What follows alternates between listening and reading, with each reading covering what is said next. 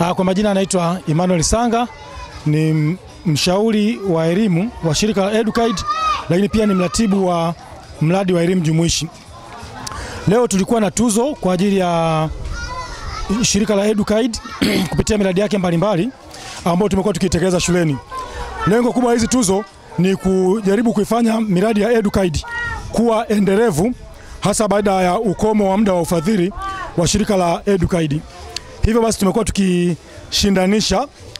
walimu wakuu, walimu waratibu wa miradi pamoja na shule kwa ujumla ili kuhakikisha kuwa zinajenga hali ya ushindani na kuweza kupenda kufanya bidii ili kuweza kupata matokeo yaliyochanya zaidi, kwa sababu tuliona kufanya miradi tu na kutokuwa na kitu chochote kinachoweza kufanya upimaji na tathmini ya nini kinafanyika mashuleni, inakuwa wakati mwingine miradi inakosa matokeo chanya. Hivyo tulibuni tuzo hizi ambazo toka mwaka jana tumeanza kuzitoa na kila shule iliyofanya vizuri katika mradi wowote ambao unasimamiwa na Educaid imekuwa ikipewa cheti cha utambuzi, lakini wakati mwingine na zawadi nyingine zinazoendana na, na mradi husika. Lakini pia tumekuwa na mtihani wa moko kwa miaka mitatu mfululizo sasa, mtihani ambao umekuwa ukichangia kuwafanya watoto wasome kwa bidii na hivyo kupata ufaulu wa alama za juu kabisa, ambapo zinawawezesha pia hata wakati mwingine kuchaguliwa kwenda kwenye shule za, za kitaifa au shule za vipaji, na hivyo kila mwaka tumekuwa tukitoa zawadi kwa watoto ishirini bora, kumi wavulana na kumi wasichana ambao wanafanya mtihani wa moko Educate, na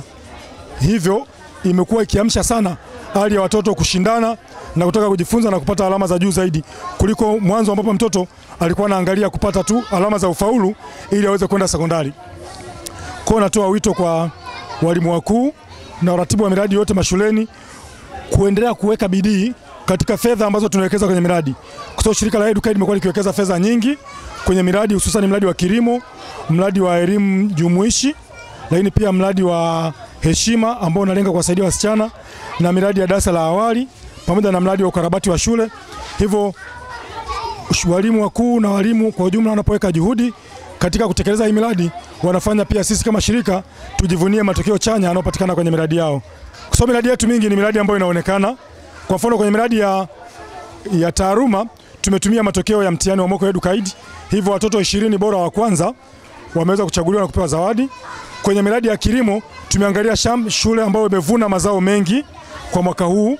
hususan shule ya msingi Mwenge ambao wamevuna zaidi ya kilo mia sita za korosho, wamevuna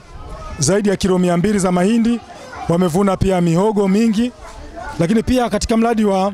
elimu ya awali tunaangalia darasa ambalo limetoa watoto wengi wanaojua kusoma na kuandika na kwenda darasa la kwanza, lakini pia darasa lenye mazingira mazuri ambao darasa linalozungumza lakini pia kwa walimu mahiri tumeangalia walimu ambao wamekuwa wakifanya vizuri na kuibua vipaji vya watoto na kuweza kuwasaidia vizuri. Na katika mradi wa mazingira, hasa katika swala zima la urejelezaji, tuliangalia shule zilizoweza kutumia taka ngumu, hususan chupa, kufanyia shughuli mbadala. Kwa hiyo ndio vigezo tulikuwa tumevitumia na tulipita kama timu ya Educaid kupiga picha na picha hizo tukakaa nazo mezani tukajaribu kuchambua na kuona picha ambazo zimejitokeza kuwa bora zaidi na hivyo kuwapatia zawadi za ushindi. Shule zinazoshirikishwa kwenye miradi ni zile shule ambazo ni shule rafiki za Educaid ambazo mpaka sasa ziko ishirini,